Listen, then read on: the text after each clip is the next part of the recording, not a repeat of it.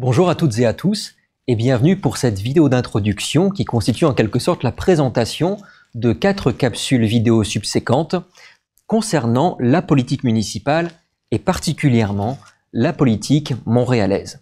Alors pourquoi ces, cinq capsules au total? Eh bien pour la simple et bonne raison que euh, trois quarts, plus du trois quarts même des Canadiens considèrent que la participation, la participation à la prise de décision est un enjeu fondamental.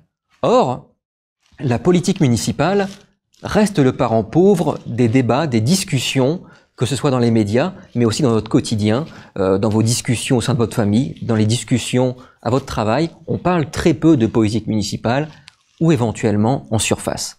Alors justement, euh, ces, ces cinq vidéos vous présenteront finalement une façon de démystifier ce qu'est la prise de décision au niveau local.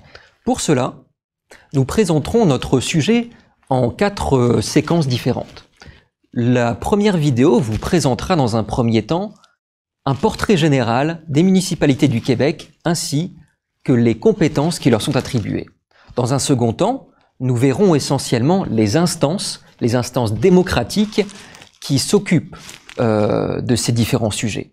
Dans la troisième vidéo, nous verrons comment ces instances mettent en pratique leur forme de consultation et euh, comme en 2016 on s'ouvre de plus en plus à la consultation populaire, nous verrons dans quelle mesure la population, les citoyens sont de plus en plus intégrés à la prise de décision de telle sorte que l'on fasse de la co-construction de politiques publiques. Alors voilà, on espère évidemment que vous prendrez un grand plaisir à regarder ces quatre vidéos et je vous souhaite une très bonne écoute.